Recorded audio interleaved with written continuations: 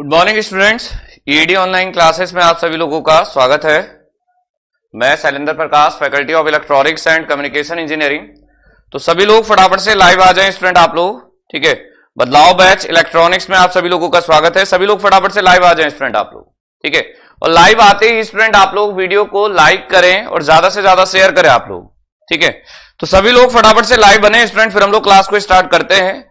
तो जैसे स्टूडेंट हम लोग लगभग थ्री टू फोर आपके इस तरीके से हमने देखे भी हैं, ठीक है? क्या अलग अलग टाइप के क्वेश्चन और आज आपका जो लेक्चर आपका ट्वेंटी फिफ्थ लेक्चर इस तरीके से हम लोग देख रहे हैं, जहाँ पर आपके डिफरेंट टाइप के जो क्वेश्चंस आप लोगों को एग्ज़ाम में पूछे गए हैं, ठीक है? जिस टाइप के क्वेश्चंस आप लोगों को, चाहे आपका यूपीपीसीएल जेई का एग्ज़ाम है स्टूडेंट इस तरीके से, या एनपीसीआईएल का एग्ज़ाम है, या इसरो टेक्निकल असिस्टेंट का एग्ज़ाम है स्टूडेंट आपका जैसे क्वेश्चन स्टूडेंट आप लोगों को पहले एग्ज़ाम में पूछे गए हैं, जो क्वेश्चन आपको पहले पूछे गए हैं, उन क्वेश्चंस को स्टूडेंट हम लोग काफ़ी सेशन से डिस्कस कर रहे हैं, ठीक है? तो चाहे वो इलेक्ट्रिकल ब्रांच का क्वेश्चन है या इलेक्ट्रॉनिक्स ब्रांच का क्वेश्चन है तो दोनों ब्रांचेस के क्वेश्चंस को डिफरेंट टाइप के क्वेश्चंस को स्टूडेंट हम लोग डिस्कस कर रहे हैं।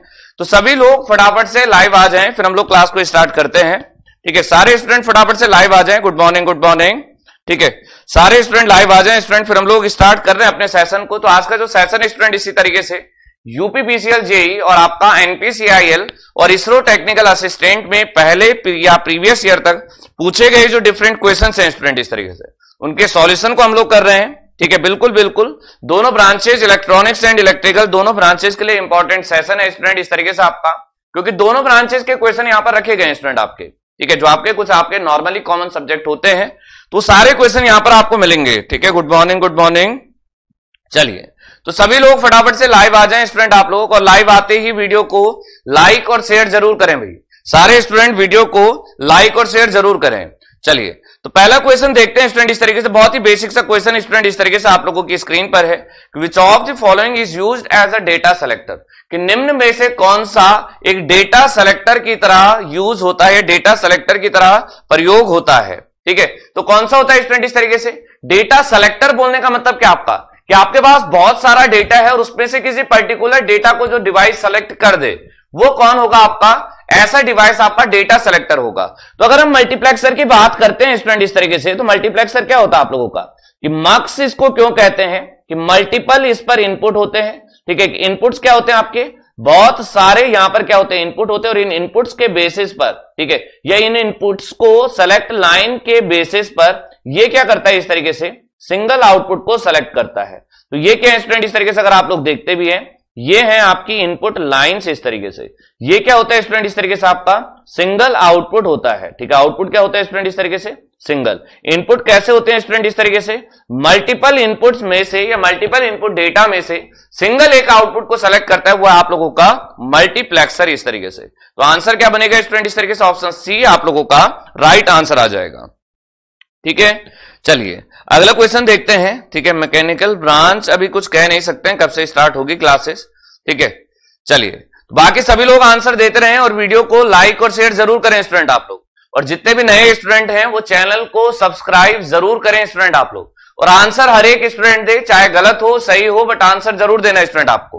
कि first signal x n is equal to x of minus n यदि कोई सिग्नल अपनी टाइम रिवर्सल प्रॉपर्टी को फॉलो कर रहा है, कि अगर वहाँ पर आप लोग उसके मिरर इमेज को देख रहे हो, ठीक है तो मिरर इमेज देखने पर वो सिग्नल अगर सेम दिख रहा है तो इसका मतलब वो कैसा सिग्नल आप लोगों का? ये एक आपका इवन सिग्नल है। कैसा सिग्नल है स्टूडेंट इस तरीके से? इवन सिग्नल है। ये सिग्नल ऑड होता अगर कैसा हो जाता है स्टूडेंट इस तरीके से? कि x of n is equal to हो जाता आपका minus of x of minus n उस केस में ये हो जाता ऑड पावर सिग्नल की क्या कंडीशन होती है आपकी? कि पावर आपकी सिग्नल की फाइनाइट होनी चाहिए, ठीक है? जबकि, ठीक है? जबकि आपका क्या होना चाहिए स्टूडेंट इस तरीके से आपका एनर्जी कैसी होनी चाहिए? इस तरीके से। एनर्जी आपकी इनफाइनाइट होनी चाहिए। ठीक है? ये किसकी कंडीशन है? पावर सिग्नल की कंडीशन वहीं अगर हम लोग एनर्जी सिग्नल की बात करते हैं स्टूडेंट इस तरीके से तो एनर्जी सिग्नल की कंडीशन होती है कि सिग्नल की एनर्जी आपकी फाइनाइट होनी चाहिए ठीक है? जबकि पावर सिग्नल की कैसी होनी चाहिए स्टूडेंट इस तरीके से आपकी? ज़ीरो होनी चाहिए। ठीक है? तो ये कंडीशन है स्टूडेंट इस तरीके से अगर आपको और सिग्नल भी यहाँ पर कोई दिया होता तो इनमें से कोई ना कोई कंडीशन आपकी फॉलो होनी थी। ठीक है? तो ये जो कंडीशन गिवन है, ये किसके लिए गिवन आप लोगों को? ये आपकी कंडीशन इवन सिग्नल की। ठीक है इतना? गुड मॉर्निंग गुड मॉर्निंग नमस्ते जी। ठीक है? एग्ज़ाम्पल केस थीटा ठीक है, क्या लिख रहे हैं Shubham ji? Example case theta चलिए तो अगला क्वेश्चन देखते हैं स्टूडेंट इस तरीके से। आंसर सभी लोग दें भाई। सारे स्टूडेंट आंसर देने की कोशिश ज़रूर करिएगा। अगला क्वेश्चन देखिए कि the response of an LTI system is given by the कि रिस्पॉन्स एक LTI linear time invariant system ये लीनियर इस तरीके से अगर हम लोग लेकर चलते हैं, क्या कहा आप लोगों को? कि लीनियर टाइम इनवेरियंट सिस्टम के लिए, ठीक है एनर्जी इनफाइनाइट होती है, बिल्कुल आपका। ठीक है? देखिए तो क्या कहा स्टूडेंट इस तरीके से कि लीनियर टाइम इनवेरियंट एक ऐसा सिस्टम जो लीनियर भी है और टाइम इनवेरियंट भी है, और दोनों प्रॉपर्टी साइमल्टेनियसली फॉलो हो रही है। तो ऐसा सिस्टम होता है आपका एलटीआई सिस्टम तो एलटीआई सिस्टम में इनपुट आपका इंपल्स रिस्पॉन्स के साथ, या आउटपुट जो होता है स्टूडेंट इस तरीके से वो क्या आता आता आपका output y t is equal to input x t convolved with impulse response h t ये क्या होता है स्टूडेंट इस तरीके से आप लोगों का? एलटीआई सिस्टम का रिस्पॉन्स होता है। तो आंसर क्या निकल के आएगा इस तरीके से? ऑप्शन ए आपका राइट आंसर आएगा। ठीक है? को रिलेशन नहीं होगा, ना ही इस तरीके से जो आप लोग लिख रहे हैं। ऑप्शन सी सुपर पोजिशन आपका यहाँ पर रिस्पॉन्स किसके लिए पूछ रहा है? एलटीआई सिस्टम के लिए। तो सिग्नल सिस्टम में आपको पढ़ाया भी है कि कैसे होता है स्टूडेंट इस तरीके से आपका? कन्वोल्यूशन होता है इनपुट और इंपल्स रिस्पॉन्स के बीच का। ठीक है इतना? सभी लोग आंसर देते रहे और वीडियो को लाइक और शेयर ज़रूर करते रहे भाई। जैसे जैसे आप लोग लाइव आ रहे हैं, वीडियो को लाइक ज़रूर करें आप लोग, ठीक है? और ज़्यादा से ज़्यादा शेयर करें। अगला क्वेश्चन देखिए स्टूडेंट इस तरीके से। Compandors are use in communication system to compandor होता क्या स्टूडेंट इस तरीके से आपका? कंपेंडर की अगर हम लोग फुल फॉर्म लिखते हैं तो आप देख सकते हैं कि कंपेंडर की फुल फॉर्म क्या होती है स्टूडेंट इस तरीके से?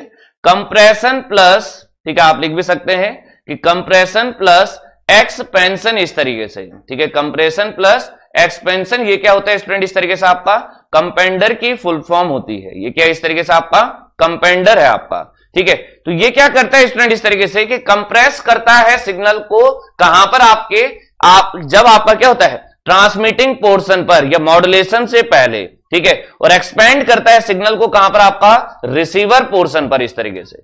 तो क्या करता है स्टूडेंट इस तरीके से? बेसिकली जो कंपेंडर यूज़ होता है आप लोगों का, वो सिग्नल टू नॉइस रेशियो को इंप्रूव करने के लिए होता है। किस चीज़ के लिए होता है आप लोगों का? Signal to noise ratio. Signal to noise ratio जितना ज़्यादा होगा, उतना ज़्यादा सिग्नल के लिए बेनिफिशियल या सिग्नल के लिए अच्छा होता है। क्यों अच्छा होता है? क्योंकि सिग्नल टू नॉइस रेशियो होता क्या स्टूडेंट आपका? सिग्नल पावर और नॉइस पावर का रेशियो होता है। और एस अगर हाई है, सिग्नल टू नॉइस रेशियो अगर हाई है तो इसका मतलब सिग्नल पावर ज़्यादा है। और सिग्नल पावर का अगर नॉइस पावर से ज़्यादा है तो आपका डेटा एग्जैक्टली या डेटा आपका क्या होगा? राइट वे में ट्रांसमिट होगा। ठीक है? अगला क्वेश्चन देखिए। ठीक है वेरी गुड आंसर सभी लोग देते रहे भाई। सारे स्टूडेंट आंसर ज़रूर दें। अगला क्वेश्चन लिखे स्टूडेंट इस तरीके से कि आईसीबी नॉट ठीक है आईसीबी नॉट क्या होता है स्टूडेंट इस तरीके से?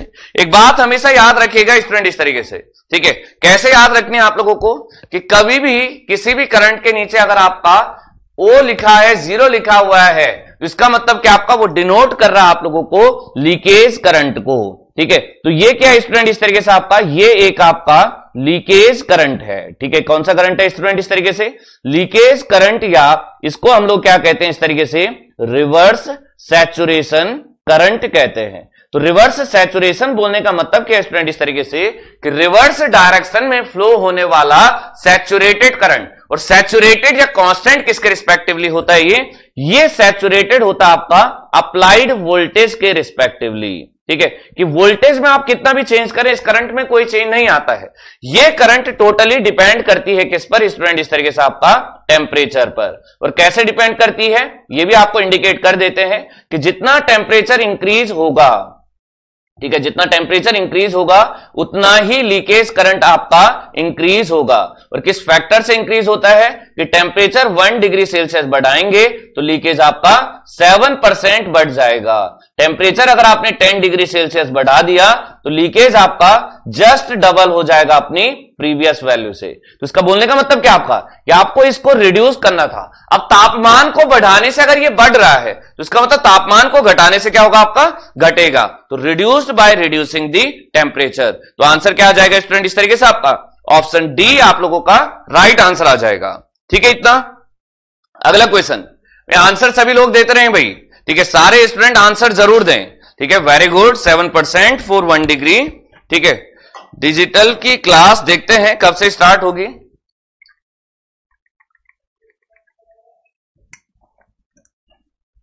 देखिए, अगला क्वेश्चन देखिए कि light is confined within the core of a simple optical fibre by ठीक है तो लाइट सिग्नल जो आपका, एक ऑप्टिकल फाइबर में जो आपका कंफाइंड होता है वो किससे होता है? तो हर कोई जानता है स्टूडेंट इस तरीके से कौन सा प्रिंसिपल होता है आपका? टोटल इंटरनल रिफ्लेक्शन होता है आपका। और कहाँ पर होता है? मेन बात यह है, किसने दो ऑप्शन में टोटल इंटरनल रिफ्लेक्शन लिखकर दिया आपको? ऑप्शन में क्या दिख रहा है स्टूडेंट इस तरीके से हमेशा याद रखिएगा क्या आपको समझाया भी था कि अंदर जो होता है स्टूडेंट इस तरीके से आप लोगों का ऑप्टिकल फाइबर में, वो होता है स्टूडेंट इस तरीके से कोर आपका। और इसको प्रोटेक्ट जो करता है आप लोगों का, वो होता है आपका क्लैडिंग सरफेस इस तरीके से। तो कोर क्लैडिंग बाउंड्री पर इस तरीके से क्या होता है? आपका सिग्नल इंटरनली रिफ्लेक्ट होता है। तो हमेशा याद रखिएगा कि कोर और क्लैडिंग की बाउंड्री पर आपका सिग्नल रिफ्लेक्ट होता है। ठीक है? ऑप्शन सी यहाँ पर क्या आएगा आप लोगों का? राइट आंसर आएगा स्टूडेंट इस तरीके से। ठीक है? न्यू पेड कोर्स अभी तो आपका कोई स्टार्ट नहीं है इस तरीके से। इलेक्ट्रॉनिक्स ब्रांच के लिए जो डिटेल्ड प्रोग्राम है आप लोगों का, वो यूपीपीसीएल जेई एनपीसीआईएल और इसरो टेक्निकल असिस्टेंट के नाम से डिटेल्ड प्रोग्राम आपका चल रहा है। डेली जिसमें आपकी लाइव क्लास सुबह नौ बजे आपकी डेली लाइव क्लास भी हो रही है उसमें, ठीक है? बाकी उसमें लेक्चर्स भी आप लोगों के सब्जेक्ट भी काफ़ी कवर लगभग लगभग आपके हो चुके हैं। कुछ बेसिक चीज़ें आपकी छुट्टी हुई हैं, वो भी आपकी धीरे धीरे साथ साथ होते रहेंगी, ठीक है? चलिए तो अगला क्वेश्चन देखते हैं ऑप्शन सी आंसर था कॉम्प्लीमेंट ऑफ़ दिस फ़ंक्शन तो देखते हैं कौन कॉम्प्लीमेंट पहले बताता आपका, ठीक है? यहाँ पर फ़ंक्शन क्या गिवन है स्टूडेंट इस तरीके से A B plus B dot C bar ठीक है? ये कैसे हो जाएगा आपका? B dot C bar plus C dot D bar इस तरीके से। ठीक है? Total internal reflection control system की क्लास भी होगी। बिल्कुल आपकी पेड कोर्स में भी हुई है। यहाँ यूट्यूब पर भी क्लास हुई है। ठीक है? जेबी गुप्ता के माइक्रो प्रोसेसर करा दीजिए। अच्छा ठीक है? वो भी हो जाएँगे। ठीक है? चलिए। तो यहाँ से क्या कहा स्टूडेंट इस तरीके से complement of A B plus B C bar plus C D bar तो कैसे हो जाएगा स्टूडेंट इस तरीके से फ़ंक्शन का कॉम्प्लीमेंट अगर लेते हैं। तो सबसे पहले लीजिए इसका ड्यूअल ड्यूअल में आपको क्या करना है कि जहाँ डॉट होगा, वहाँ कर देना आपको और, ठीक है? जहाँ पर मल्टीप्लाई होगा, वहाँ पर जोड़ देना है, ठीक है? और जहाँ मल्टीप्लाई होगा, वहाँ पर क्या करना है? जोड़ना है। जहाँ जोड़ रहा होगा, जहाँ प्लस होगा, वहाँ आपको डॉट लगाना है। तो सिंपल कैसे हो जाएगा फ़ंक्शन कि ड्यूअल अगर इसका देखेंगे, ये हो जाएगा A plus B dot B plus C bar dot C plus D bar इस तरीके से। ये ठीक है स्टूडेंट इतना? अब अगर हम लोग देखते हैं, ठीक है? यूपीपीसीएल जे इलेक्ट्रिकल के लिए पेड कोर्स बिल्कुल आपका सेपरेट अलग सा कोर्स है आपका इलेक्ट्रिकल के लिए, ठीक है? प्रैक्टिस सेट भी है पेड कोर्स में, सारी चीज़ें आपको वहाँ पर मिलेंगी क्वेश्चन पेपर भी मिलेगा प्रैक्टिस सेट भी मिलेगा लेक्चर्स भी मिलेंगे डाउट सेशन भी होगा लाइव क्लासेस भी होंगी, सारी चीज़ें अवेलेबल है वहाँ पर, ठीक है? बिल्कुल बिल्कुल इलेक्ट्रिकल में भी, ठीक है? देखिए, अब इसका अगर हम लोग देखते हैं स्टूडेंट इस तरीके से कॉम्प्लीमेंट अगर आप लोग करते हैं तो कॉम्प्लीमेंट सिंपली कैसे करना आप लोगों को देखिए, कि यहाँ आपका क्या हो जाएगा? हर एक इंडिविजुअल बुलियन एल्जेब्रा के ऊपर आपको कॉम्प्लीमेंट लगा देना है। तो ए बी बार या ए प्लस बी बार ये हो जाएगा आपका B bar plus C double bar हो जाएगा सी और ये हो जाएगा सी बार प्लस डी अब क्वेश्चन ने आंसर डायरेक्टली नहीं दिया है, ठीक है? नन आंसर लिख रहे हैं, एक दो स्टूडेंट आप देखते हैं कि नन आ रहा है या नहीं आ रहा है। इसको मल्टीप्लाई करते हैं। कितना बन रहा है इस तरीके से अगर आप देखते हैं तो ये हो जाएगा आपका ए बार बी बार प्लस यहाँ से अगर आप देखेंगे तो ये आपका ए बार सी इस तरीके से। प्लस ये आपका क्या है? दोनों जगह क्या है? इस तरीके से बी बार तो ये हो गया आपका बी बार इस तरीके से। ठीक है इतना? आगे बढ़ते हैं स्टूडेंट इस तरीके से हम लोग। तो ये कैसे हो जाएगा आपका? प्लस बी बार सी इस तरीके से। वो बाकी यहाँ से आपका C bar plus D as it is आपका बाहर चल रहा है। ठीक है इतना? देखिए इसको और मल्टीप्लाई करते हैं तो सिंपल कैसे हो जाएगा स्टूडेंट इस तरीके से? ए बार बी बार सी बार इस तरीके से। ये हो जाएगा स्टूडेंट इस तरीके से। ये सी है सी बार है, ये हो जाएगा ज़ीरो यहाँ से अगर आप लोग देखेंगे तो ये हो जाएगा आप लोगों का एक मिनट हाँ? इसको थोड़ा सा इस तरीके से लेकर चलते हैं ये कैसे बनेगा? ए बार बी बार डी पहले इसी को मल्टीप्लाई कर लेते हैं। फिर हो जाएगा स्टूडेंट इस तरीके से A bar C dot C बार है तो ये ज़ीरो हो गया। ये आ जाएगा A bar C D simple multiply करते जाए अपने आप से। ये हो जाएगा आपका बी बार सी बार इस तरीके से। आगे अगर हम लोग देखते हैं तो आ जाएगा बी बार डी आपका। ठीक है? नेक्स्ट देखते हैं इस तरीके से तो ये हो गया ज़ीरो और ये हो गया B bar C D bar D इस तरीके से। ठीक है? इतना ये मल्टीप्लाई होकर आ रहा है। ठीक है? ठीक है? ठीक है अच्छा पैसे बहुत है, कुछ कम करा दीजिए। ठीक है? तो एक बार आप लोग हेल्पलाइन नंबर से इसके बारे में डिटेल ले लीजिएगा हेल्पलाइन नंबर पर कॉल कर लीजिएगा। वैसे जहाँ तक हमें लगता है कि वो आपका बहुत ही कम अमाउंट इस तरीके से है, फिर भी अगर ऐसे कोई प्रॉब्लम हो, सिंधु जी तो एक बार आप हेल्पलाइन नंबर जो वहाँ पर विजिबल हो रहा होगा, उस पर बात कीजिएगा, एक बार कॉल करके देखिएगा।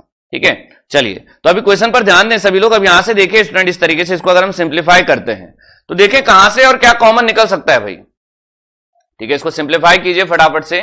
सबसे पहले देखिए कि यहाँ अगर हम लोग देखते हैं, कहीं पर कोई कॉमन आ रहा है? कोई पार्ट पार्ट कॉमन आ रहा है? ये आपका बी बार सी बार है, यहाँ बी बार सी बार है। दोनों को सॉल्व करेंगे तो ए बार बच जाएगा। तो ये दोनों टर्म्स आपकी हो गई खत्म इस तरीके से। ये सिंपल ए बार आ गया। बाकी देखिए B bar D A bar सी ठीक है? और कहीं पर कोई कॉमन है तो फटाफट से देखें भाई जरा। ठीक है? ये क्या आपका बी बार डी है? तो ये बी बार डी ध्यान से देखना कहाँ पर क्या सर्कल कर रहे हैं। ये बी बार डी है और यहाँ पर बी बार डी है। तो यहाँ से भी क्या आ जाएगा स्टूडेंट इस तरीके से? प्लस ए बार आपका कॉमन आ जाएगा। तो ये भी नेग्लेक्ट हो गया इस तरीके से। ये टर्म भी आपकी क्या हो गई? खत्म हो गई इस तरीके से। यहाँ से देखते हैं स्टूडेंट इस तरीके से तो ये कैसे आ रहा है आपका? देखिए ये सिंपल क्या बन रहा है? यहाँ भी सी डी है और यहाँ पर भी सी डी है। तो यहाँ से क्या बचेगा स्टूडेंट इस तरीके से? यहाँ से जनरली आप लोगों का ऐसे तो कुछ कॉमन नहीं आ रहा है। चलिए देखते हैं। एक काम करते हैं, इसको एज इट इज़ लिखते हैं पहले। ये कैसे बन रहा है स्टूडेंट आपका? Plus A bar C D और plus B bar C D तो यहाँ से एक काम करते हैं, ये ए बार कॉमन आ रहा है। तो वन हो जाएगा, ये हो जाएगा स्टूडेंट इस तरीके से A bar plus B bar C D क्या यही आंसर आ रहा है? जरा ध्यान से देखें कि कहीं पर अगर कुछ मिस्टेक हो रहा हो तो आपको सिंपली जो मेथड याद रखना है स्टूडेंट आप लोगों को वो ये याद रखना है कि पहले इसका ड्यूअल निकालिए, ठीक है? फिर इसका कॉम्प्लीमेंट कैलकुलेट कीजिए, ठीक है? इसको मल्टीप्लाई करने में अगर कहीं पर कोई मिस्टेक हो तो आप लोग चेक कर सकते हैं, ठीक है? सिंपली आपको क्या करना है? इस तरीके से इसको सॉल्व करना है और इस तरीके से आपको मल्टीप्लाई करना है। तो अगर इस तरीके से देखते हैं, फिर तो कोई भी ऑप्शन अभी मैच नहीं कर रहा है यहाँ पर, ठीक है? अगर ऐसे में देखेंगे तो कोई भी आंसर मैच नहीं कर रहा है। ठीक है, फिर तो आपका आंसर क्या निकल के आ रहा है? नन आ रहा है। तो फिर भी एक बार इसको चेक ज़रूर कर लीजिएगा।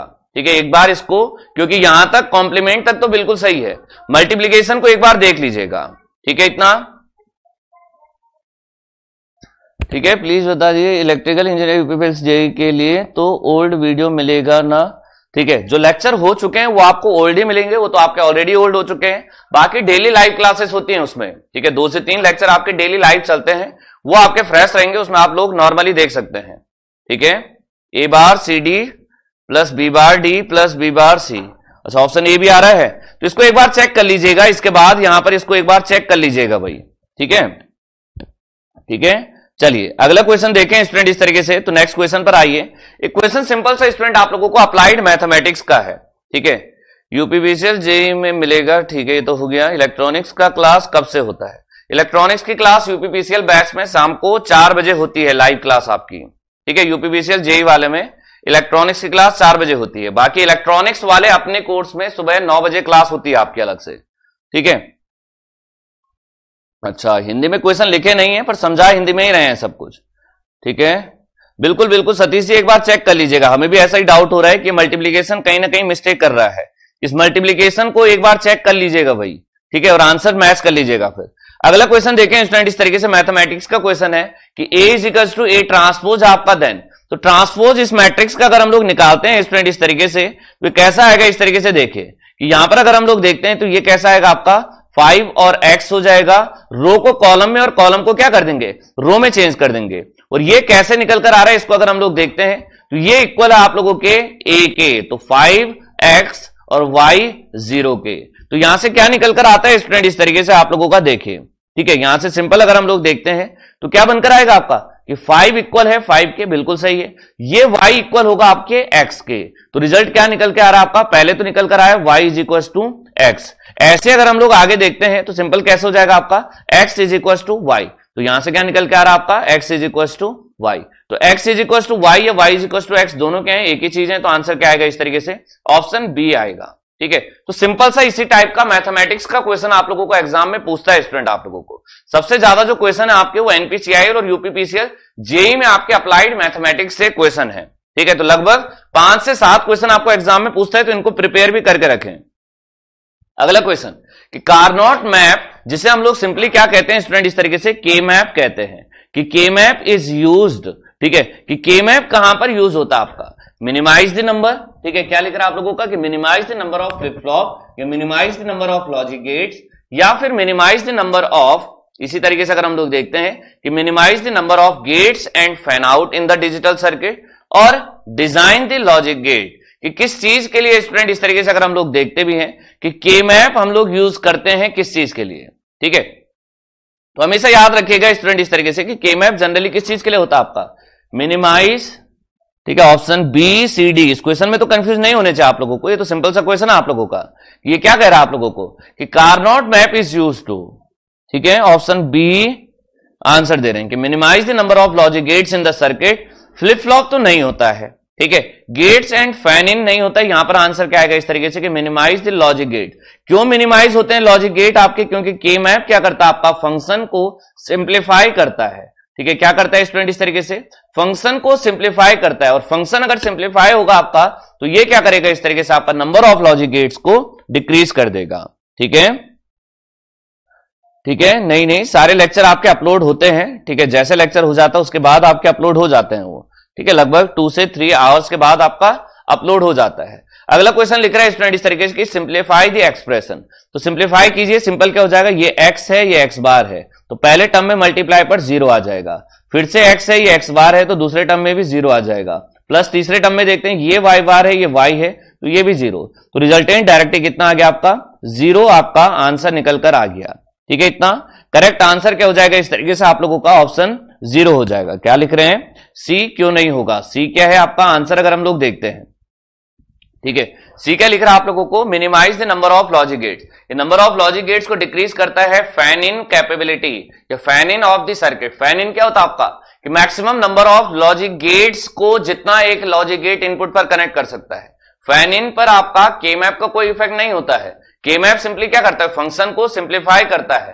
फ़ंक्शन सिंप्लीफाई होगा आपका तो नंबर ऑफ़ लॉजिक गेट्स घटेंगे उस केस में आपके। ठीक है? क्या घटेंगे? उस सर्किट को, उस फ़ंक्शन को बनाने के लिए। नंबर ऑफ़ लॉजिक गेट्स की संख्या घटेगी आपकी सिर्फ़ ठीक है?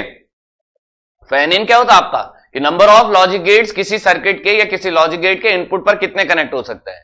तो वो नहीं डिक्रीज होगा, ठीक है? उस पर मतलब आपका उस पर कोई इफ़ेक्ट नहीं आएगा। वो तो डिपेंड करता है आपके सर्किट पर कि वो किस सर्किट का है या कैसी प्रॉपर्टी है उसकी। तो यहाँ पर आंसर क्या बन रहा है भैया आपका? ऑप्शन ए आप लोगों का राइट right आंसर हो जाएगा। अगला क्वेश्चन देखिए कि ना पीसीएम ऑफ़ टेलीमेट्री कि पल्स कोड मॉड्यूलेशन आपका किसके लिए? इस तरीके से टेलीमेट्री सिस्टम के लिए। The quantisation noise depends on तो ये क्वेश्चन शायद आपके एक दो क्लास पहले हुआ भी था इस तरीके से, ठीक है? या इसी टाइप का ऐसा ही क्वेश्चन एक दो क्लास पहले किया भी था हमने। वो क्वेश्चन स्टूडेंट इस तरीके से आपका यहाँ पर जो आज का ये क्वेश्चन है, ये आपका यूपीपीसीएल जेई में पूछा गया इलेक्ट्रॉनिक्स एंड टेलीकम्युनिकेशन में पूछा गया क्वेश्चन है। क्या लिख रहा है कि पीसीएम सिस्टम में टेलीमेट्री में, ठीक है क्वांटाइजेशन नॉइस किस पर डिपेंड करता है? ठीक है? तो किस पर डिपेंड करता है? हमेशा याद रखिएगा कि क्वांटाइजेशन नॉइस डिपेंड करता है स्टूडेंट इस तरीके से। क्वांटाइजेशन नॉइस का एक फॉर्मूला हमने ऐसे भी पढ़ा है कि twice of maximum voltage is divided by क्या होता है स्टूडेंट इस तरीके से? नंबर ऑफ़ लेवल्स इस तरीके से। ठीक है? तो यहाँ से अगर हम लोग देखेंगे स्टूडेंट इस तरीके से तो सिंपल क्या निकल के आएगा आपका? कि वी मैक्स होता आपका मैक्सिमम एम्पलीट्यूड ठीक है? ये क्या होता है इस तरीके से? मैक्सिमम एम्पलीट्यूड ऑफ़ सिग्नल इस तरीके से। ठीक है? एल आपका क्या होता है स्टूडेंट इस तरीके से आप लोगों का नंबर ऑफ़ क्वांटाइजेशन लेवल ठीक है? ये क्या होता है इस तरीके से? Number of quantisation number of quantisation levels इस तरीके से। क्या होता है इस तरीके से? नंबर ऑफ़ क्वांटाइजेशन लेवल्स तो फिर आंसर क्या निकल के आएगा इस तरीके से? ये डिपेंड करता है आप लोगों के नंबर ऑफ़ क्वांटाइजेशन लेवल से। तो ऑप्शन सी यहाँ से क्या निकल कर आ जाएगा? राइट right आंसर आ जाएगा। ठीक है? ठीक है? इलेक्ट्रिकल में नहीं पूछेगा। एक स्टूडेंट लिख रहे हैं यूपीपीसीएल जेई के प्रीवियस ईयर के क्वेश्चन पेपर को उठाकर देखें। बेसिक क्वेश्चन कम्युनिकेशन सिस्टम के। आपको इलेक्ट्रिकल सेक्शन में भी पूछे गए हैं। ठीक है? आप लोग प्रीवियस ईयर के क्वेश्चंस को देख सकते हैं। सिलेबस को देख सकते हैं। वो सिलेबस में भी कंप्लीटली मेंशन करता है। तो ऐसे छोटे छोटे जो क्वेश्चन है, उनको आप ज़रूर याद रखिएगा। ठीक है? प्रीवियस क्वेश्चन का ज़ीरो नहीं होगा सर अच्छा ज़ीरो क्यों नहीं होगा? ये आपका एक्स बार है। यहाँ पर हाँ ये कह रहे होंगे ना कि ये जुड़े हुए हैं। ये देखिए यहाँ से ये सेपरेट है इस तरीके से। तीनों के आपके सेपरेट हैं। तो तीनों केसेस में मल्टीप्लाई कीजिए ज़ीरो ही आएगा फिर आंसर ठीक है? ठीक है, चलिए। अगला क्वेश्चन देखते हैं। नेक्स्ट क्वेश्चन पर चलते हैं। क्या लिख रहा है कि ना पीसीएम सिस्टम ठीक है? कि एक पल्स कोड मॉड्यूलेशन सिस्टम में if we increase the quantisation level कि क्वांटाइजेशन लेवल्स दो से आठ कर दिए जा रहे हैं। ठीक है? The relative bandwidth requirement will be कि बैंडविड्थ पर इसका क्या इफ़ेक्ट पड़ेगा स्टूडेंट आपका? हमेशा याद रखें, इस तरीके से अगर हम लोग देखते हैं कि बैंडविड्थ का जो फॉर्मूला होता है आप लोगों का पल्स कोड मॉड्यूलेशन में, बहुत सारे वो आपके पल्स कोड इस तरीके से अगर हम लोग देखते भी हैं तो बहुत सारे फॉर्मूले होते हैं स्टूडेंट इस तरीके से पीसीएम सिस्टम में, ठीक है? होल कॉम्प्लीमेंट में एक्स वाई जेड ठीक है? तो ये अगर इसकी बात कर रहे हैं, कौन से क्वेश्चन की बात कर रहे हैं? भाई ऑप्शन ए ठीक है? अगर यहाँ लिख रहे हैं, यहाँ तो ठीक है sampling rate and quantisation level, ठीक है? डिपेंड अगर हम लोग देखें, बिल्कुल वैसे भी आप अगर देखें तो दोनों पर करता आपका। एक फॉर्मूला अगर हम लोग देखते हैं तो सैंपलिंग रेट पर भी आपका रिलेट करता है क्वांटाइजेशन नॉइस का आपका। ठीक है? पिछले क्वेश्चन के बिल्कुल सही कह रहे हैं कि वहाँ पर उस दिन आपको समझाया भी होगा कि सैंपलिंग रेट पर भी डिपेंड करता है स्टूडेंट इस तरीके से और क्वांटाइजेशन लेवल पर भी। क्योंकि क्वांटाइजेशन नॉइस का जो फॉर्मूला होता है, वो दोनों से रिलेट करता है आप लोगों का। ठीक है? दोनों पर क्या करता है? इस तरीके से डिपेंड करता है। ठीक है? बट यहाँ अगर हम लोग लेकर चल रहे हैं इस तरीके से तो ऑप्शन सी को इसलिए लेकर चल रहे हैं। क्या कहा स्टूडेंट इस तरीके से आपका? कि डायरेक्टली जो आपका डिपेंड कर रहा है, वो किस पर? आप लोगों का number of quantisation noise level पर इस तरीके से। तो देखिए यहाँ से, कि क्या कहा स्टूडेंट इस तरीके से कि बैंडविड्थ का जो फॉर्मूला होता है, ये होता है स्टूडेंट आप लोगों का कि log base two of L number of levels multiplied by sampling frequency f of s इस तरीके से। ठीक है इतना? तो अब यहाँ से देखिए कि अगर आप नंबर ऑफ़ लेवल्स को टू लेकर चलते हैं उस केस में जो बैंडविड्थ होगा आपका V1 लिख लेते हैं इसको, ये हो जाएगा आपका लॉग बेस टू ऑफ़ और ये हो गया टू और मल्टीप्लाइड बाई एफ़ एस इस तरीके से क्वेश्चन नंबर वन ठीक है? अब अगर आप नंबर ऑफ़ लेवल्स को एट कर देते हैं, ठीक है इतना? तो कैसे हो जाएगा? ये देखिए, कि bandwidth second is equal to जो आपका निकल कर आएगा, वो कैसे आएगा आपका? Log base two of eight into F of S तो ये कैसे हो जाएगा? इक्वेशन नंबर टू यहाँ से। दोनों इक्वेशन को कंपेयर करते हैं। अगर हम इक्वेशन टू को देखते भी हैं स्टूडेंट इस तरीके से तो B two is equal to आप इसको लिख सकते हैं टू के पावर में तो ये आ जाएगा आपका ट्वाइस ऑफ़ ठीक है, कैसा आ जाएगा? Log base two of two ठीक है, और multiplied by sampling frequency F of S इस तरीके से। ठीक है, इतना? ट्रांजिस्टर ओपन जेनर डायोड पहले भी काफ़ी क्वेश्चन करवाए इस पर बेस ठीक है, बाकी उन क्वेश्चंस को भी करवाएँगे। आप लोग जो लाइव क्लास ऐप पर होते हैं, वहाँ पर लाइव रहेगा। वहाँ पर वो क्वेश्चंस आपके धीरे धीरे डिस्कस हो जाएँगे। आज का जो सेशन रहेगा, सबसे पहले यूपीबीसीएल जेई 2014 के जो रिमेनिंग क्वेश्चंस हैं, उनको डिस्कस करेंगे हम लोग नौ बजे से। उसके बाद जो आप लोगों के एक्सपेक्टेड क्वेश्चन है स्टूडेंट आप लोगों के, जिसमें आज आपका कम्युनिकेशन सिस्टम और एंटीना के कुछ न्यूमेरिकल्स को और ईडीसी के कुछ न्यूमेरिकल्स को हम लोग डिस्कस करेंगे स्टूडेंट वहाँ पर। तो सभी लोग नौ बजे लाइव रहे ऐप पर। तो अब ये देखिए स्टूडेंट इस तरीके से। ये जो वैल्यू है स्टूडेंट इस तरीके से आप लोगों का, ठीक है, ये काम करते हैं टू की पावर थ्री होगा तो ये थ्री आएगा भाई, ठीक है, ये थ्री होगा। ये देखिए स्टूडेंट ये वैल्यू किसका था आपका? ये वैल्यू आपका बी वन का तो थ्री ऑफ़ बी वन इसका मतलब क्या है स्टूडेंट इस तरीके से कि नई बैंडविड्थ जो होगी आपकी, वो क्या हो जाएगी आपकी? ट्रिपल हो जाएगी आप लोगों की प्रीवियस बैंडविड्थ से। तो ऑप्शन सी आप लोगों का राइट आंसर आएगा, ठीक है? करेक्ट आंसर होगा आप लोगों का? थ्री से होगा। बिल्कुल बिल्कुल। वो क्या हो जाएगा? टू की पावर थ्री होगा। अगला क्वेश्चन देखिए कि the modulation system inherently most noise resistance ठीक है? ठीक है? ज्वाइन नहीं हो पा रहा है। आप लोगों को सिंपल करना क्या है? आप लोग जूम ऐप को इंस्टॉल रखें। वहाँ आपको कुछ नहीं करना है। बस उसे नॉर्मल इंस्टॉल रखें और जो आपका ईएडी ऑनलाइन क्लासेस ऐप है आपका, वहाँ पर आप लोग लाइव रहें। वहीं से डायरेक्ट ऑप्शन आपको आएगा। ज्वाइन लाइव क्लास का। ठीक है? और वहीं से आप लोगों को लाइव क्लास वो ज्वाइन करना है, ठीक है? तो सभी लोग वीडियो को लाइक और शेयर करते रहे भाई, ठीक है? काफ़ी स्टूडेंट ने अभी भी वीडियो को लाइक नहीं किया है। तो सारे स्टूडेंट वीडियो को लाइक ज़रूर करें और ज़्यादा से ज़्यादा शेयर करें आप लोग। अगला यहाँ पर क्वेश्चन देखते हैं कि कौन सा मॉडुलेशन सबसे ज़्यादा नॉइस रेजिस्टेंस होता है? तो ये होता है स्टूडेंट इस तरीके से आपका पल्स कोड मॉडुलेशन इसका कारण क्या है स्टूडेंट इस तरीके से? इसका कारण आपका multiple number of regenerative repeaters ठीक है? यहाँ पर क्या होते हैं स्टूडेंट इस तरीके से? Multiple number of regenerative repeaters होना। रिजनरेटिव रिपीटर्स कैसे होते हैं आप लोगों के? बहुत सारे यहाँ पर क्या होते हैं? रिजनरेटिव रिपीटर्स कनेक्ट होते हैं आपके। तो आंसर क्या आ जाएगा इस तरीके से? ऑप्शन सी आप लोगों का राइट आंसर आ जाएगा। ठीक है? ठीक है? ऐप में सिर्फ़ पेड स्टूडेंट ही लाइव देख सकते हैं। जो कोर्स में ज्वाइन होंगे स्टूडेंट सिर्फ़ वही क्लासेस को देख सकते हैं। ठीक है? अगला क्वेश्चन देखिए which of the following microphone does not required polarizing current तो ये क्वेश्चन आपको पहले भी कई बार करवाया है स्टूडेंट आपका। क्वेश्चन आप लोगों का इसरो टेक्निकल असिस्टेंट में पूछा गया क्वेश्चन आप लोगों का। क्या लिखा है इस तरीके से? कि किस माइक्रोफोन में पोलराइजिंग करंट की रिक्वायरमेंट नहीं होती है? तो कौन सा होता है? ये बात आपको पहले भी समझाइए। ये होता है स्टूडेंट इस तरीके से आप लोगों का क्रिस्टल माइक्रोफोन कौन सा माइक्रोफोन होता है इस तरीके से? क्रिस्टल माइक्रोफोन तो ऑप्शन ए आप लोगों का राइट आंसर आ जाएगा। ठीक है, इतना? चलिए, अगला क्वेश्चन देखते हैं स्टूडेंट इस तरीके से। ठीक है, श्यामल जी कहाँ गायब हैं भाई? ठीक है, आज दो तीन दिन बाद दिख रहे हैं शायद क्लास में। ये कल भी थे क्लास में। ठीक है?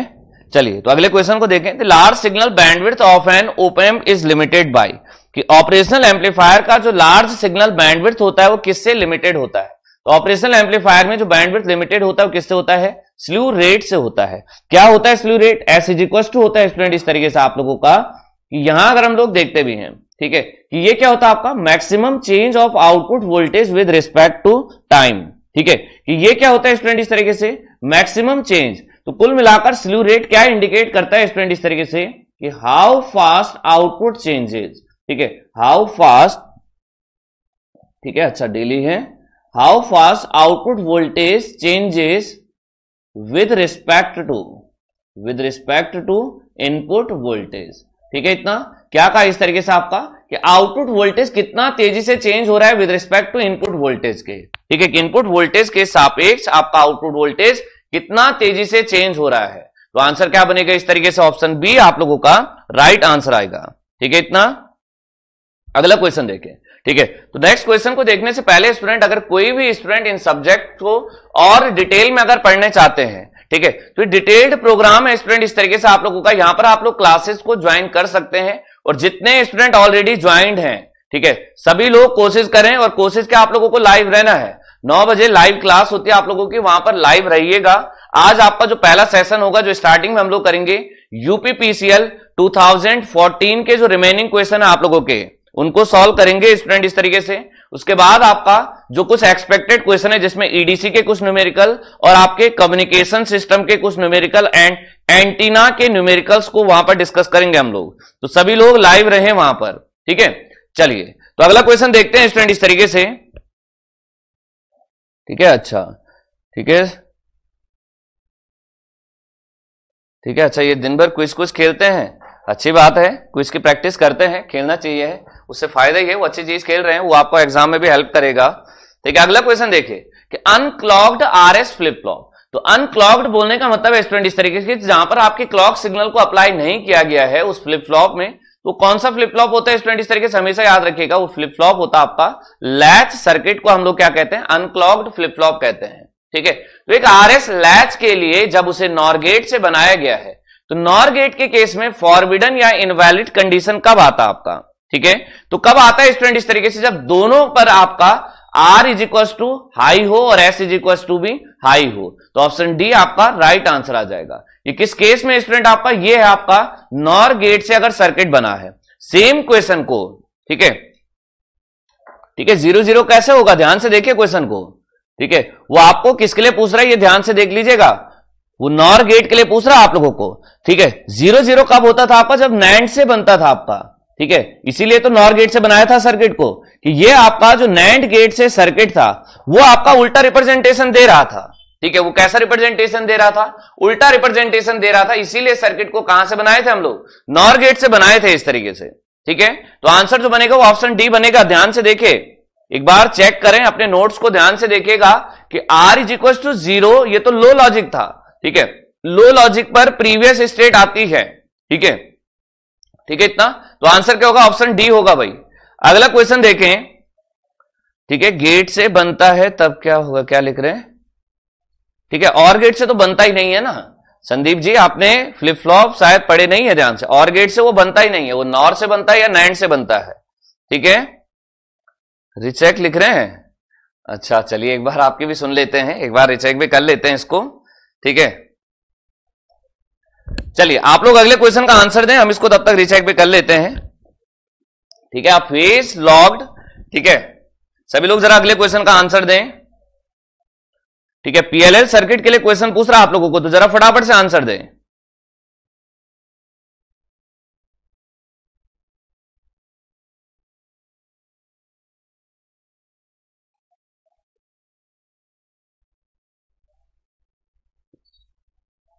अच्छा ठीक है ठीक है ठीक है ठीक है।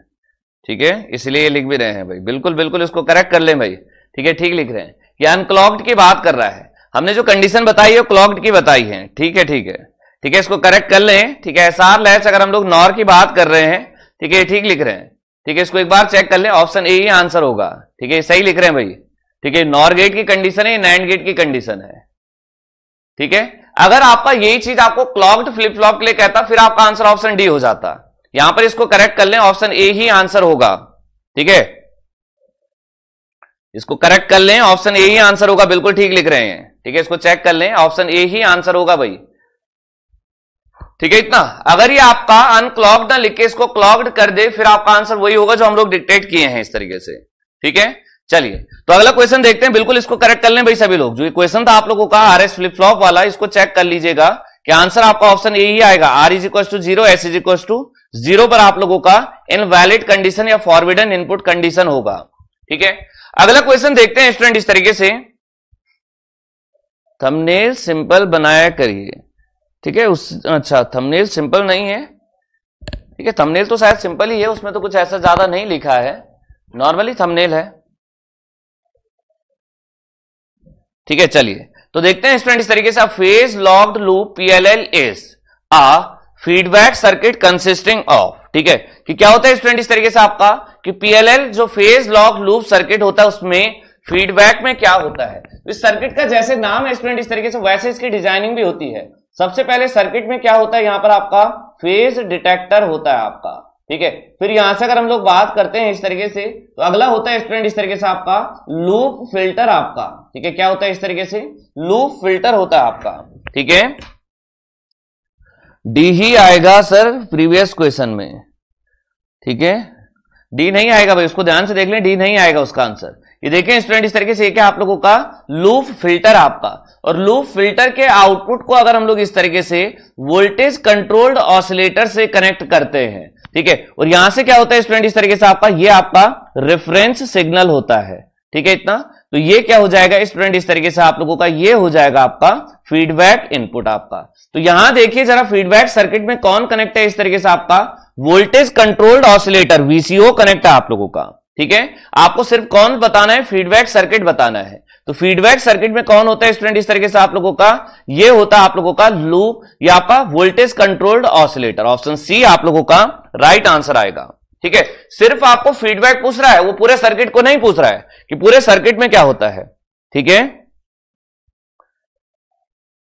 ठीक है? ध्यान देना पड़ता है। ठीक है? अच्छा। चलिए, अगले क्वेश्चन पर आए। जैसा आप लोग ये फालतू की बातों पे स्टार्ट हो जाते हो ना तुरंत, ऐसा अगर आप लोग आंसर कमेंट जो आपके क्वेश्चन चल रहे होते ना, उतने तेज़ी से अगर आप उनका आंसर दो ना तो ज़्यादा मज़ा आएगा। आपको भी और हमें भी। ठीक है? एग्ज़ाम में भी मज़ा आएगा। अगर कोई थोड़ा सा छोटी सी बात लिख दे ना, ठीक है? वो नॉर गेट की जो आप बात कर रहे हैं ना, शुभम जी, ठीक है? वो आपका फ्लिप फ्लॉप का केस है, ठीक है? कि ज़ीरो ज़ीरो पर ठीक है एक मिनट एक मिनट। ठीक है सही तो कह रहे हैं। यार इस क्वेश्चन में इस, इस तरीके से कितना क्यों घुमा दिए हैं? ठीक है फॉरबिडन इनपुट कंडीशन लिख रहा है भैया आपको। ठीक है हॉल्ट की कंडीशन नहीं लिख रहा है। ठीक है इसको फिर से सही कर लें भाई सभी लोग। ठीक है बिल्कुल सही लिखे थे हम। ये आपका नैंड है और ये नॉर ही था।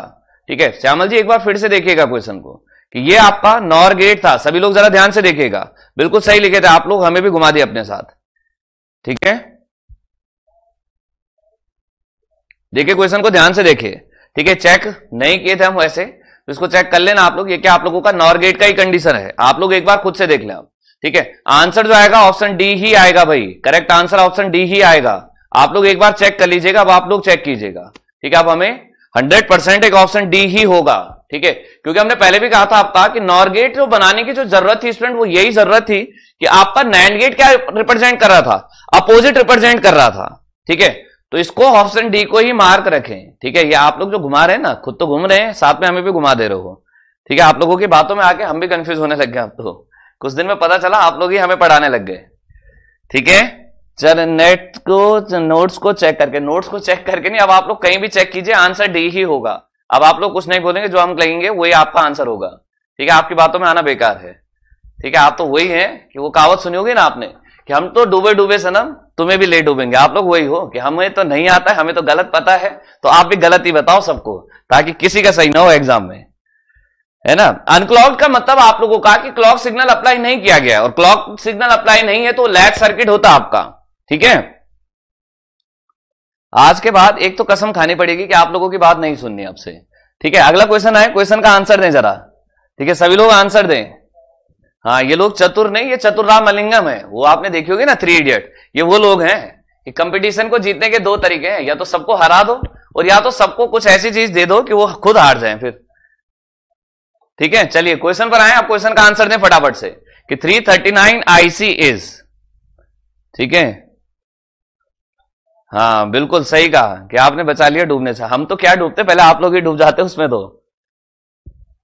ठीक है सर माइक्रो प्रोसेसर का भी क्वेश्चन प्रैक्टिस करा, बिल्कुल बिल्कुल सारे क्वेश्चन हो जाएँगे। ठीक है, परेशान ना हो क्वेश्चन अब आगे आंसर दें। ठीक है ट्रिपल फाइव टाइमर पढ़ाने को लिख रहे हैं या क्वेश्चन को लिख रहे हैं? ठीक है रॉन्ग नहीं है डी आंसर है उसका। अब तो पत्थर की लकीर है कि आंसर डी है ठीक है, अब आपकी बात नहीं सुनेंगे। ठीक है, अर्जुन देव जी इडियट में ये नहीं होता आई होता है। ठीक है, अगले क्वेश्चन पर आए क्वेश्चन पर ध्यान दें। ठीक है? क्वेश्चन का आंसर दें क्वेश्चन का आंसर कोई नहीं दे रहे हैं। यहाँ पर ध्यान से देखिएगा कि ये क्या स्टूडेंट इस तरीके से कि 339 IC is used as a ठीक है? ये is an example of 14 pin DIP एक आपका 14 पिन की 14 पिन की एक आईसी होती है स्टूडेंट इस तरीके से, ठीक है? That can be made to a function as a ठीक है? हमेशा याद रखिएगा कि 339 आईसी जो होता है, आपका आईसी नंबर 339 जो होता है स्टूडेंट इस तरीके से। ये एक कंपेरेटर के रूप में यूज़ होती है आप लोगों की। ठीक है? ये कैसे यूज़ होता है आप लोगों का? एक कंपेरेटर सर्किट के रूप में यूज़ होती है। ठीक है? तो आंसर जो बनेगा ऑप्शन ए आप लोगों का राइट आंसर आएगा इस तरीके से। ठीक है? ट्रिपल फाइव टाइमर तो अपने आप में एक आईसी है। ठीक है? ऑप्शन ए आप लोगों का राइट आंसर होगा। अब अगले क्वेश्चन पर आ जाएँ। सतीश जी स्माइली की जगह पर आंसर भेजना ऑप्शन भेजना है। ठीक है? पता चला एग्ज़ाम में आंसर लिखना था, वहाँ बबल करना था अगर ऑफलाइन पेपर हो, और आप वहाँ स्माइली बनाकर आ गए। ठीक है? चलिए, अगले क्वेश्चन पर आ जाए। नेक्स्ट क्वेश्चन को देखें which of the following application includes phase locked loop कि किस एप्लीकेशन में फ़ेज़ लॉक लूप यूज़ होता है? तो हमेशा याद रखिएगा पीएलएल सर्किट जो होता है, आप लोगों का फीडबैक में यूज़ होता है। नॉर्मली मॉडेम्स में भी यूज़ होता है। ठीक है? ट्रैकिंग फ़िल्टर में भी यूज़ होता है और एएम या एफ़ एफएम डिकोडर या डिमोडुलेटर में भी यूज़ होता है। ठीक है? ट्रिपल फाइव टू टाइमर होता है, बिल्कुल आपका। ठीक है? तो यहाँ से आंसर क्या आएगा स्टूडेंट इस तरीके से ऑप्शन डी आप लोगों का राइट आंसर आएगा कि फ़ेज़ लॉग लूप ये सारे जो ऑप्शन लिखे गए हैं सारे एप्लीकेशन आपके फ़ेज़ लॉग लूप को एएम डिकोडर या एफएम डिकोडर दोनों में यूज़ होता है। ठीक है? बिल्कुल बिल्कुल इलेक्ट्रॉनिक्स की बुक का भी काम चल रहा है, वो भी जल्दी आपके सामने पर होगी। ठीक है? अगला क्वेश्चन देखिए कि rectification efficiency of full wave rectifier भाई, कितना होता है एफिशिएंसी आपका फुल वेव रेक्टिफायर का? 81 परसेंट होता है, ठीक है? और अगर हमें पूछता हाफ़ वेव रेक्टिफायर के लिए तो कितना होता आपका? 40.6 परसेंट होता है, ठीक है? कितना होता है इस तरीके से? 40.6 परसेंट या जनरली हम लोग 40 परसेंट लेकर चलते हैं। ये आपका किसके लिए है? ये आप आप लोगों का फुल वेव रेक्टिफायर के लिए है, ठीक है? किसके लिए? फुल वेव रेक्टिफायर के लिए। अगला क्वेश्चन देखिए। ठीक है? आत्मा नहीं है भाई, वो शरीर में ही है, अभी ज़िंदा है वो। कहाँ बेचारों को आत्मा में ले जा रहे हो? ठीक है, अगला क्वेश्चन देखिए कि what is the voltage resolution of eight stage ladder बिल्कुल तेज़ी से आंसर दें आप। ये ऐसे क्वेश्चन हो चुके हैं जो आपको बहुत प्रैक्टिस करवा लिए हैं। कि वोल्टेज रेजोल्यूशन आपका रिजोल्यूशन आपका minimum change of two consecutive levels आपका। कि दो वोल्टेज लेवल के बीच में जो मिनिमम चेंज होता है, वो क्या होता है? रिजोल्यूशन और लैडर सर्किट के लिए पूछ रहा है तो कितना हो जाएगा? Reference voltage is divided by two की पावर एन तो कितना आ जाएगा? Reference voltage is divided by two की पावर एट तो two four eight sixteen thirty two sixty four one twenty eight and two fifty six तो कितना बन रहा है इस तरीके से? Reference voltage is divided by 256 इस तरीके से. तो आंसर जो बनेगा दैट इज़ ऑप्शन बी आप लोगों का राइट right आंसर आ जाएगा. अगला क्वेश्चन देखिए. In which region is the operating point in tunnel diode कि टनल डायोड के लिए किस रीजन में ऑपरेटिंग पॉइंट स्टेबल होता है? तो टनल डायोड की जो स्पेशल प्रॉपर्टी है, वो क्या आप लोगों का? नेगेटिव रेजिस्टेंस रीजन है। और उसी नेगेटिव रेजिस्टेंस रीजन में वोल्टेज बढ़ने के साथ, अगर डायोड करंट आपकी बढ़ने की जगह, हम लोग ओम्स लॉ से जानते हैं कि current is directly proportional to the voltage कि जितना वोल्टेज बढ़ाएँगे, उतना ही करंट बढ़ता है। और अगर आपका वोल्टेज बढ़ाने से करंट बढ़ने की जगह घट रहा है तो ये कैसा रीजन होगा? स्टूडेंट इस तरीके से हमेशा याद रखिएगा कि ये आपका नेगेटिव रेजिस्टेंस का रीजन होगा।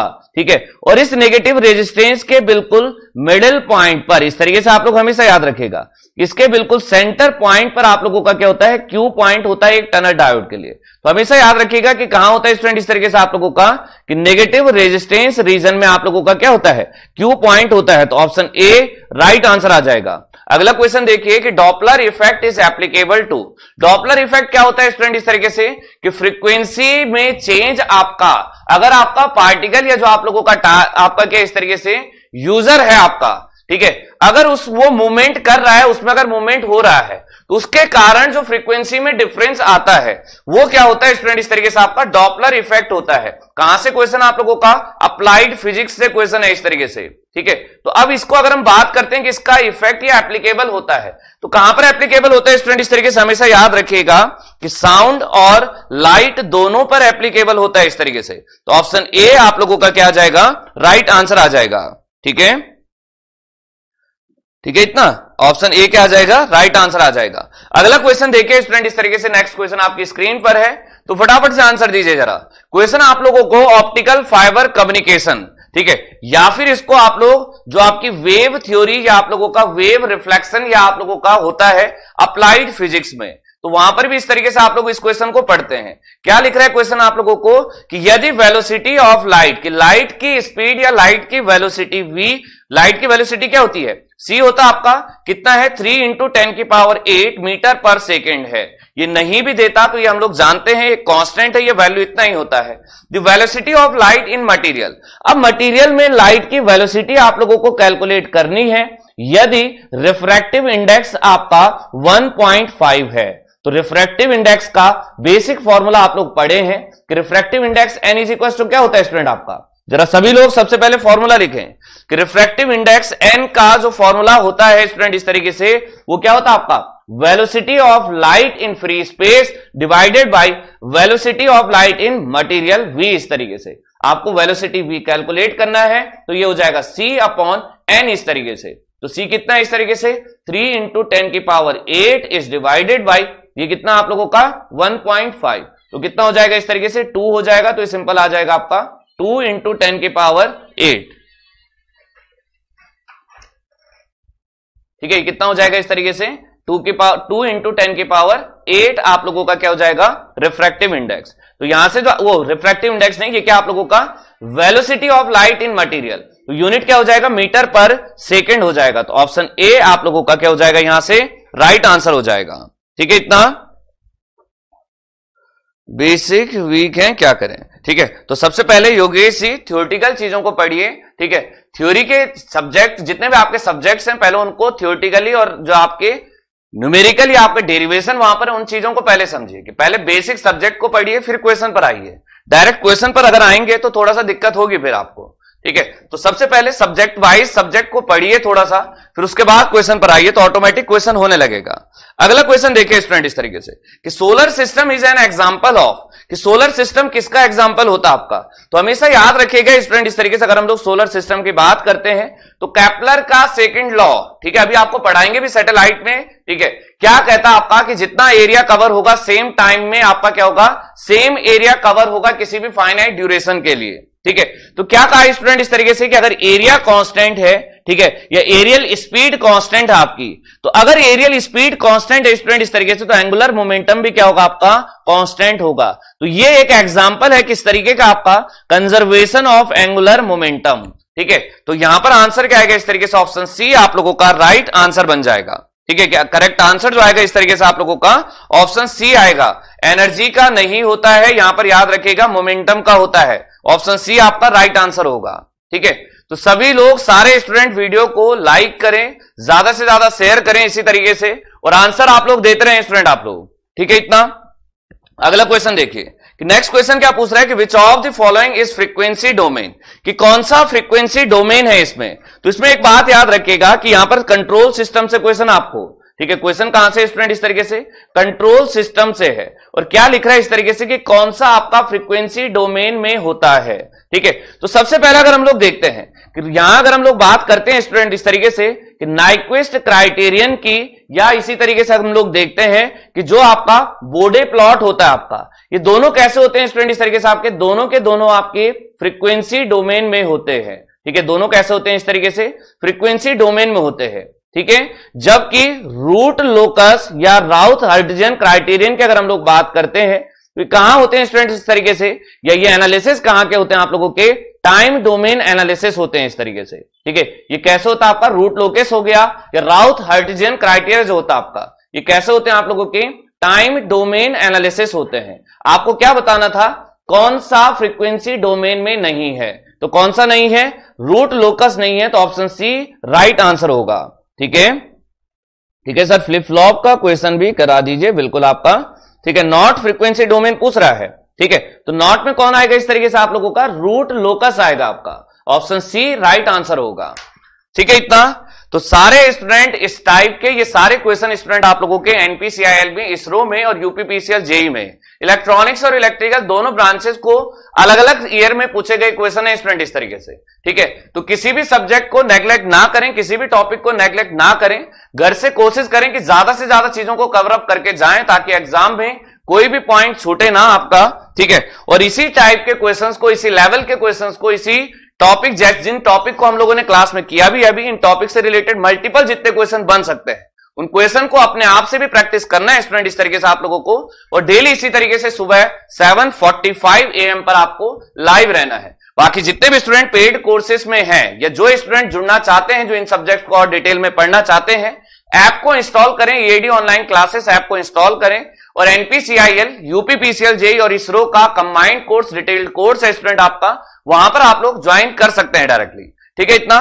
तो नौ बजे सभी लोग लाइव रहे, ठीक है? बाकी के क्वेश्चन को जो आप लोगों के यूपीपीसीएल जेई का 2014 का पेपर है, उसको सॉल्यूशन करेंगे और कुछ न्यूमेरिकल्स को डिस्कस करते हैं। तो आज के सेशन के लिए थैंक यू स्टूडेंट्स